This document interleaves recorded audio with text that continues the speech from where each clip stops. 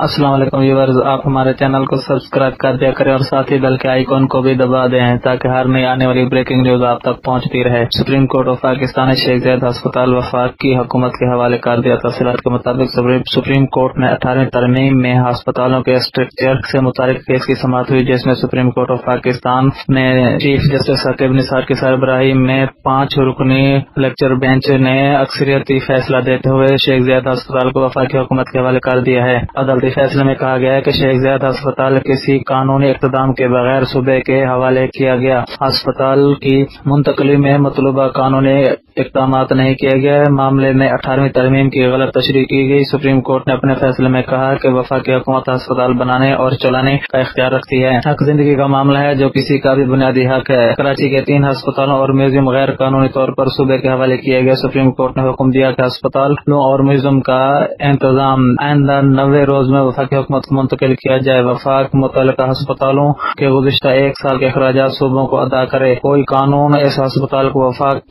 کی واپس منتقلی سے نہیں روک سکتا۔ سماج کے دوران چیف جسٹس میسا کا نے ریمارکس دیتے ہوئے یہ آخری فیصلہ قرار دیا۔ میں نے ہمیشہ کوشش کی ہے کہ قانون اور انصاف کے عین مطابق فیصلہ دیا جائے اور ہر فیصلے میں انصاف کے تقاضوں کو پورا کیا جائے۔ انہوں نے کہا کہ آپ سب کی محبتوں کا بہت شکریہ۔ میں سب کا بے حد مشکور ہوں، بیس سال تک بینچ کا حصہ رہا کبھی کسی کی دل آزاری نہیں کی۔ انہوں نے کہا کہ اگر کسی کے دل آزاری ہوئی ہو تو معافی مانگتا ہوں۔ جیسے کے بعد چیف جسٹس ثاقب نثار اپنے کیریئر کا آخری مقدمہ سن کر عدالت سے چلے گئے۔ واضح ہے کہ چیف جسٹس آف پاکستان میں ثاقب نثار آج اپنے عہدے سے ریٹائر ہو رہے ہیں۔ Chief justice of Pakistan justice Saqib Nisar نے اپنے دور میں کئی اہم کیسز کے فیصلے کیے اور عوامی فلاح و بہبود کے لیے بھی کام کیا۔ چیف جسٹس ثاقب نثار کے بعد justice Asif Saeed Khosa, chief justice کا منصوبہ سنبھالیں گے۔